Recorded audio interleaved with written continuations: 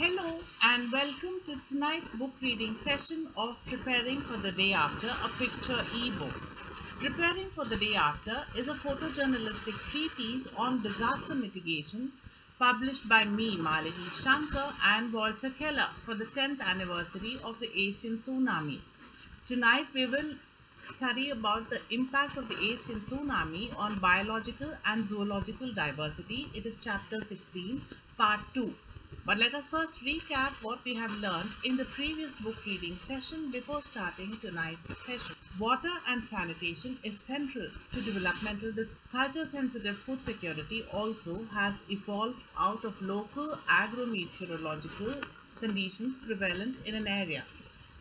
Livelihoods based on local agro-meteorological conditions are the best means of ensuring livelihood security. Climate change adaptation, menstrual hygiene, especially for indigenous tribal women, solid waste management, universal healthcare access, sustainable development goals, they are all factors to be included in the development agenda. Media personnel have to be trained in reporting disaster preparedness or the lack of it at district level. Disaster is the impact of a calamity on the human landscape. This includes the impact on lives, livelihood, livestock and landscape. Now let us start with the chapter on the impact or rather the second part of the chapter on the impact of the tsunami on biological and zoological diversity in tonight's reading. The tsunami waves have had an impact on the colonizing corals according to studies conducted by the Zoological Survey of India, Andaman Nicobar Regional Center in Port Blair, the capital of the Andaman Nicobar district, I mean Andaman Nicobar island chain. When the lands heaved up in the Andamans, the creeks were drained of all the water, depriving nesting crocodiles a habitat for sustenance. Whereas in the Nicobars, where islands subsided or collapsed into the sea, the sea invaded the creeks, depriving the crocodiles of securing of secure nesting sites. This loss of habitat has traumatized the crocodiles, possibly causing increase in crocodile attacks on humans. The, I researched and wrote an article on the increasing crocodile human attacks and the crocodile attacks in the islands after the Asian tsunami. The article can be accessed on a link which will be put up in the description box below the video. In, let's start with studying the impact of the Asian tsunami in different regions. In Indonesia, WWF has noted in Indonesia that the proximity of the Gunung Leuser ecosystem and the national park and national park to the impacted areas is of concern. Timber demands for tsunami reconstruction together with the proposed Ladia Galaska road through the Leuser ecosystem would open up currently inaccessible areas to potential illegal logging and other detrimental effects on the ecology and biodiversity of the ecosystem, says the UNEP Environmental Impact Assessment of the Tsunami, the link of which has been put up in the description box below. In Indonesia, quote, Wetlands International estimates a loss of 50% of sandy beaches on the west coast. This loss may have impacted turtle nesting sites with possible negative effects on hawksbill, leatherback and green sea turtles, says the UNEP Tsunami Impact Assessment Report called After the Tsunami Rapid Environmental Assessment. The tsunami moved enormous boulders and sections of reef as well as thousands of tons of smaller fragments, sand and silt which dislodge, abrade, crush and kill marine biota. There was also a powerful backlash carrying large quantities of waste, debris, soil and organic matter. Despite all of this, damage to reefs was very patchy, ranging from total destruction in some areas to almost no impact in others, reflecting a complex interaction among the recent history and condition of the reef with the precise way the tsunami energy was delivered to that particular environment. Some smothering was observed, but it appears primarily from resuspended marine sediments rather than by matter intruding from the land. Litter and debris is abundant. Much of the rubble formed after the mass mortality of corals in 1998 in Seychelles, the Seychelles is a critical habitat for sea turtles as in, listed as endangered on the IUCN Red List. significant populations of the green, that is Chelonia mydas, and hawksbill, that is, that is called Eretmochelys imbricata, turtles commonly use beaches for nesting. Sea turtles' nesting sites are located on many of the beaches around the inner Seychelles Islands. As such, they are vulnerable to erosion of the upper beach noted above. The peak nesting season for hawksbill turtles is December to February. Fortunately, the highly eroded beaches, example Curlin and Anse Royal, were not highly important as nesting sites and direct exposure of turtle eggs was only reported in two nests from Curieuse Marine Park. Turtle monitoring programs from other islands including Aldabra, Farquhar, the Arrows, St. Joseph, Bird and Reed Islands indicated no known damage, unquote, says the same UNEP report called After the Tsunami Rapid Environmental Assessment Report. At Anse Cimetière Curieuse, high beach erosion is normal at this time of the year. In Curieuse Marine Park, at least two hawksbill turtle nests were flooded and the eggs were exposed. Although a number of these eggs were recovered and reburied by rangers, such incidents may have occurred on other beaches where park staff was not present. Long-term impacts on nesting activity need to be monitored. Reports from the cousin islands show that turtles stayed off the beaches from, from 26, from 26 to 27th of December 2004. In Sri Lanka, Sri Lanka offers some of the best evidence that intact coastal ecosystems such as coral reefs and healthy sand dunes helped buffer aggressive waves. For example, most of Yala and Bundala national parks were spared because vegetated coastal sand dunes completely stopped the tsunami, which was only able to enter where the dune line was broken by river outlets. Some of the severest damage to Sri Lanka's coast was where mining and damage of coral reefs had been heavy in the past. Sri Lanka's coast was okay, sorry. Similar observations were found in the in the province of Phang Nga in Thailand, where mangrove forests and seagrass beds significantly mitigated the effect of the tsunami. The biggest news from faunal diversity in Sri Lanka was that two radio-collared Asian elephants were tracked moving inland minutes before the Asian tsunami struck shore at the Yala National Park, further substantiating the theory that animals have a prescient sense of foreboding before natural calamities. Wildlife was rarely directly affected adversely by the tsunami. There is some evidence that birds and larger mammals sensed or perceived the incoming tsunami in time to escape to higher ground. Nevertheless, damage to endangered turtle nesting beaches and breeding projects on the coast of India, Sri Lanka, Thailand and Tanzania has been reported says the UNEP report. The UNEP report cites, quote, Sri Lanka has a coastline of approximately 1,660 kilometers. The range reported is 1,585 to 1,730 kilometers. The coastal zone is very diverse and contains lagoons and estuaries, fringing and offshore reefs, mangrove swamps, seagrass beds, salt marshes, beaches, sand pits, rocky shores and dune systems. Sri Lanka's coastal zone contains very productive ecosystems that sustain a large proportion of the country's people and flora and fauna. Extreme mechanical damage with nearly half of the coral reef area ripped off, including the reef base or the limestone substrate in some places, turned the reef into fields of rubble and sand Three quarters or more of the remainder has also been severely damaged. Large coral blocks and dead coral have been moved over by moved over the reef, tearing off the live coral and also the reef base. The southern reef margin has been restructured has been restructured and severely eroded. Granite rocks and boulders 20 to 50 centimeters in diameter have been shifted, particularly around a rock patch near the shore. Virtually all remaining live corals had been damaged and many Acropora colonies have been sheared.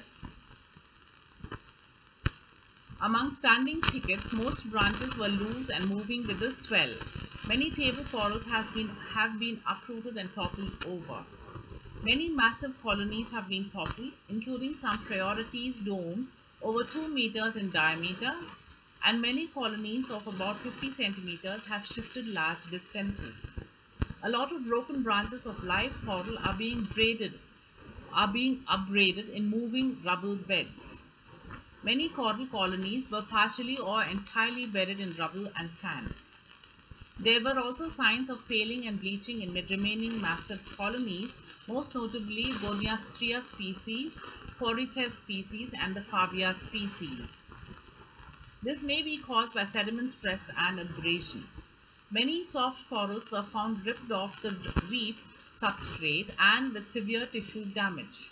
There was very little evidence of litter, debris and sediment from land sources. There is a case study which is a box item in the book actually. Uh, this case study is about tsunami impacts on special management areas in Sri Lanka. Seven special management areas of SAM sites were affected by the tsunami. Negombo, Lunava, Maduganga, Hikkaduwa, Habaraduwa, Mavella and Kalavatia. Although detailed quantitative data are not yet available, inspection of these sites provides an indicative sample of the impacts of the tsunami upon a range of coastal ecosystems, including lagoons, mangroves, beaches, sand dunes, reefs, canals, and farmlands in the southwestern and south southern coastal areas. Examples from four sites are listed here. Uh, Negombo. The channels in the lagoon mouth have been deepened by the tsunami. The six canals connected to the lagoon have been blocked by debris. The beaches are polluted with debris and rubbish. There has been little damage to coastal vegetation such as mangroves. The sand dunes in Morapala, Setapaduva and Salahena have been damaged. In some places, these dunes are used to be about 15 meters high but now have been eroded. Coastal vegetation on the dunes has been affected. A substantial amount of debris has been deposited inside the lagoon. In tonight's video and the live interaction, I will be showing these locations on Google Earth. Some of the locations I know some of, some of them. Uh, Lunava, the mouth of Lunava Lagoon was swept open by the tsunami. The water level in the lagoon decreased. After a few days, the lagoon mouth closed again. Beaches within the special area management are being polluted by rubbish that is being dumped there. This is especially plastic, wood and solid waste. Although some beaches are being cleaned, many beaches are polluted with debris and rubbish. Coastal vegetation has been severely damaged. Even some coconut palms have been destroyed, indicating the source of the water. Although Lunava Lagoon is one of the most polluted the tsunami the of the mouth of lagoon has not changed. But blocking the lagoon from the sea was swept away and the southern bank was lightly damaged in places. Due to the tsunami, a large amount of debris entered the lagoon and is still inside the water body. Several boats sunk inside the lagoon. Some of them have not been reclaimed but are still underwater, which was after 2005 when the boat came out. Due to the complete opening of the lagoon mouth, salinity inside the lagoon has increased. The high salinity of the water in the lagoon could result in saltwater intrusion into paddy fields. In several places, the coastal vegetation has been damaged. In Marbella, groundwater polluted with saltwater, resulting in unusable wells. The Marbella Canal and the Morakitia Lagoon are heavily polluted with debris and rubbish. There is a large amount of vegetation and organic material inside the Morakitia Lagoon. The canal is now open but blocked by debris. The beach the special area management is polluted with debris and rubbish. Source is the UNEP report for you after the tsunami rapid environmental assessment. The link of which been put up in the description box below. Sri Lanka is also vulnerable to cyclones, storm surges, floods and droughts. All hydrometeorological disasters leaving the population far more vulnerable than disaster mitigation efforts of the island nations can withstand. The pulls and pressures from causes like hydrometeorological calamities and consequences of developmental polymids make the standoff for climate refugees starker in the island nation. Alternate livelihood options, secure incomes with resilience to weather vagaries is one option uh, to identify vulnerable population groups in Sri Lanka like elsewhere in coastal communities. Provinces damages to natural resources and environment. Ranong, Lane, Swan and Payam Archipelago, Archipelago National Park in Thailand 0.0336 square kilometers of coral reefs were damaged. Minor damage was found at various beaches. Seagrass beds at the mouth of Ban Bang Bain Canal were buried in sandy sediment. However, the damage was minor. 14 sea turtles, including 4 hawksbill turtles and 10 olive ridley turtles, were washed out from captivity at the Ranong Marine Research Station. 0.888 square kilometers of mangroves were damaged. 0.0096 square kilometers of freshwater sources were damaged. The coastal erosion was found at Bang Bane Beach or Bang Bane Village at a distance of 50 meters from the original shoreline. At Banthale Nok Beach, which is Kumpuan Village, and Trapas Beach, coastal erosion was found at a distance of 80 to 50 centimeters respectively from the original shoreline. 0.0032 square kilometers of solid waste dumping site and wastewater treatment plant were damaged. Soil deterioration or soil salinity was found in an area covering 0.6592 square kilometer. Phang Nga, Simil, Simi, Similan Island, Lac Mountain, Lum Lu, Lum Creek, Mountain Thai Muang, Surin and Ra Phra Thong Islands National Parks were affected. 1 square kilometer of coral reefs were damaged and 8 square kilometers of beaches were damaged. At Tung Nang Dum in Kuraburi district, sand dunes were destroyed by tsunami waves, while nearby seagrass beds were covered with sand. At Khao Khat, bottom erosion was found. However, the rhizome remained attached to the substrate while the leaves were torn off.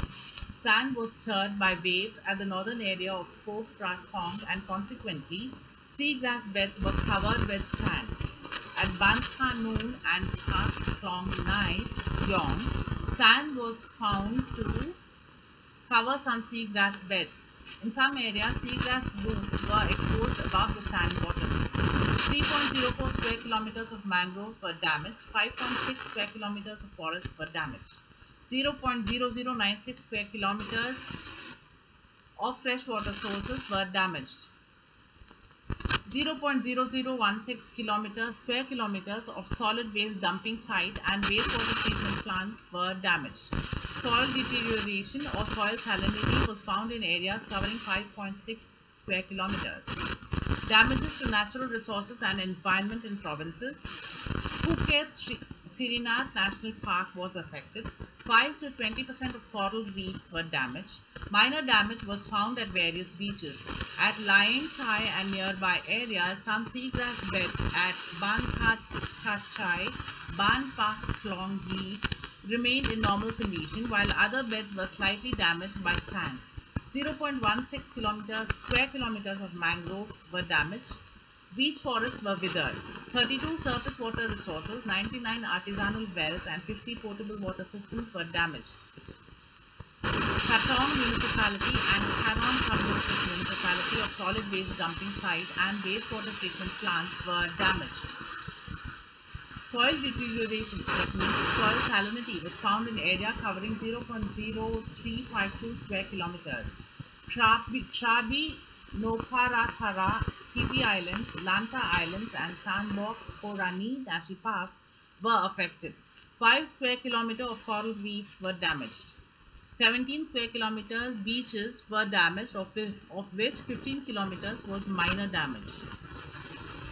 20% of seagrass beds at the southern area of Koh were destroyed. Sand deposition was found in the remaining seagrass beds in this area. 126 shallow wells and 50 artisanal wells were destroyed. So, soil deterioration or soil salinity was found in an area covering 0.0376 square kilometers. Seven sinkholes formed. Trang Chomai Beach National Park was affected. Minor damage was found at various coral reefs. Up to 5% of seagrass beds at the north, eastern and east-south areas of Koh Libong were damaged. The damages were caused by sand dune substrate erosion. Seagrass beds in some areas shed their leaves although their plants were still attached to the substrate. 0.032 square kilometers of mangroves were damaged, 129 shallow wells were destroyed. Satun, Karu, Thau and Patna Islands national parks were affected. 0.88 square kilometers of coral reefs were damaged. 1.92 square kilometers of beaches were damaged. Seagrass beds at Koh Lidi Yai and Koh Lidi Noi were in normal condition. There was no trace of damage.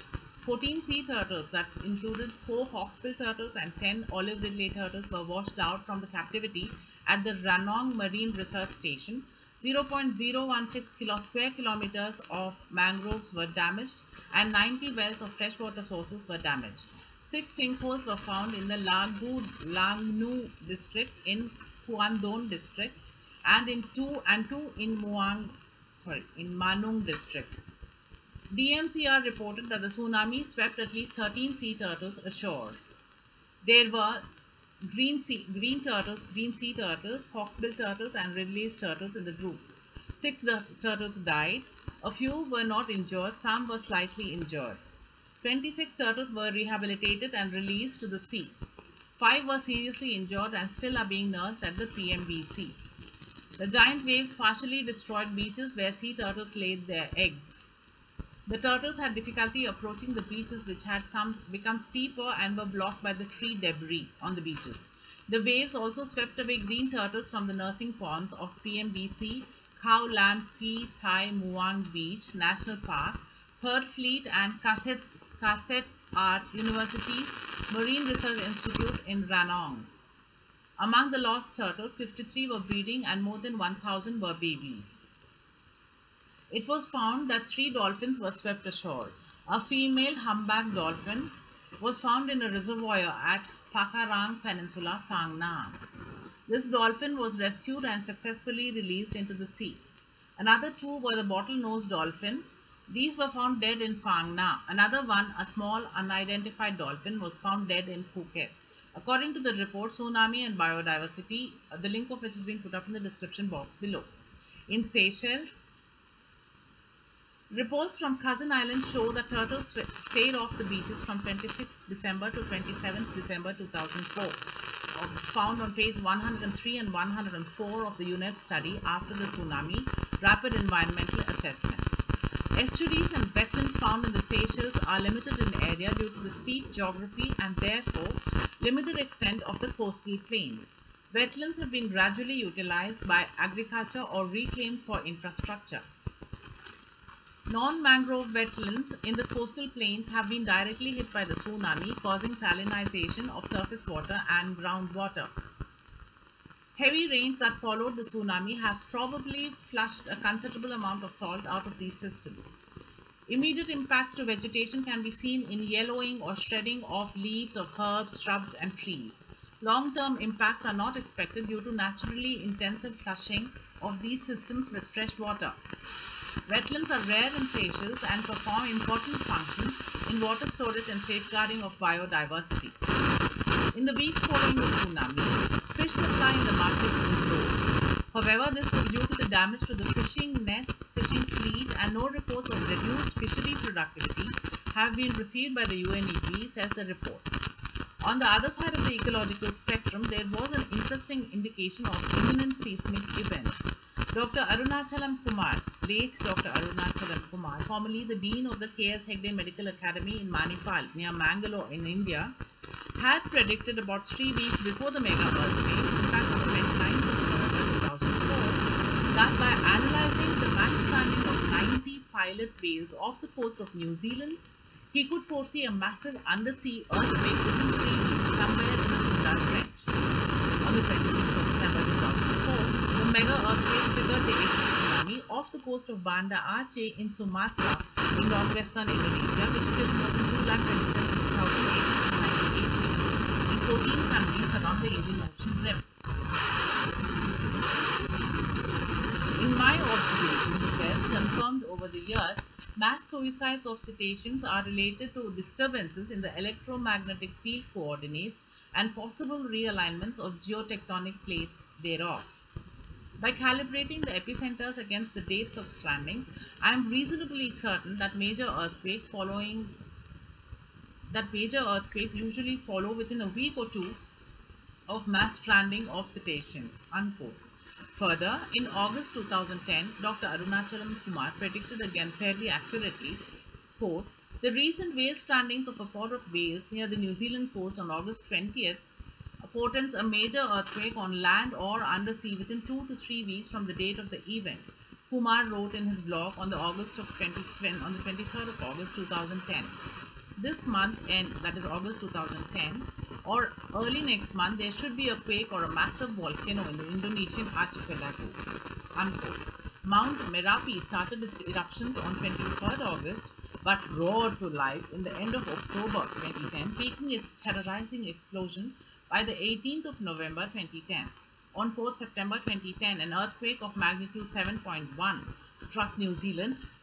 On the 20th of August 2010, Dr. Arunachalam Kumar had received an email mentioning of mass stranding of whales off the coast and the mailer had queried the professor on the possible outcome of this event. Dr. Kumar, who has espoused the theory that unexplained whale deaths are linked to natural disasters over the years and has been proved to be spot on in the accuracy of his forecasts. In his reply, he said that the incident was prelude to a eruption of a volcano in Indonesia within seven days, and an earthquake would follow within two weeks, he said. This, this blog link has also been put up in the description box below. Impact of Asian tsunami on biodiversity and botanical wealth. The islands in the Andaman district were spared the onslaught of the tsunami thanks largely to the mangroves, of course, said Rana Matthew, the former public relations officer of the UT administration of Andaman Nicobar Islands in Port Blair, in an exclusive discussion with me. The volcanic islands of Andaman Nicobar Islands have a plant diversity of 279 specimens per 1000 square kilometer, according to a study by Dr. Alok Saxena, Forest Service Officer. His uh, the study link is also put up in the description box below. Imagine losing this kind of biological diversity then to an inevitable natural calamity. The best practice to mitigate the impact of natural calamities is to nurture bioshields like mangroves, sea grasses, littoral forests and coral reefs. Conservation, at least, mitigates the impact of the calamity. It was established beyond doubt in the aftermath of the Asian tsunami that, quote, bioshields like mangroves, littoral forests, coral reefs and sand dunes protected the hinterland from the effects of the devastating tsunami. The Coastal Systems Research Program of the M.S. Swaminathan Research Foundation aims at integrating ecological security of coastal areas and livelihood security of coastal communities in a mutually reinforcing manner to achieve sustainable management of coastal resources. The ecosystem chosen for this study is mangrove wetland. It is a multiple user, multiple use ecosystem and plays a role in mitigating impact of natural disasters such as cyclones, storm surges and tsunami in coastal zones. It provides livelihood to millions of artisanal fisher folk and acts as a critical habitat for wildlife. Unquote. In 1981, Dr. M. S. Swaminathan proposed at an international conference on global environment and sustainable development that mangroves could play a lead role in managing the impact of sea level rise and called for anticipatory research in developing saline tolerant crop varieties using salt tolerant genes of mangrove plants. This led MSSRF, that is the MS Swaminathan Research Foundation, to start its twin strategy of conservation of mangrove wetlands and sustainable utilization of their resources in 1991. The preliminary environmental assessment has shown extensive but uneven damage to the natural resources that acted as the first line of defense from the tsunami, such as coral reefs, mangroves, sand dunes, and other coastal ecosystems, says the UNEP Environmental Impact Assessment Report. Anecdotal evidence and satellite photography before and after the tsunami event seem to corroborate claims that coral reefs, mangrove forests, and other coastal vegetation, as well as peat swamps, provided protection from the impact of the tsunami. Vegetated sand dunes appear to have provided an excellent first line of defense. The damage to coastal ecosystems is highly variable and the damage to coral reefs is mostly due to the impact of debris from the land.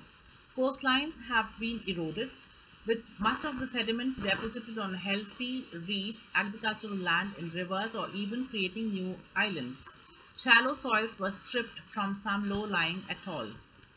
Sri Lanka offers some of the best evidence that intact coastal ecosystems such as coral reefs and healthy sand dunes help buffer aggressive waves.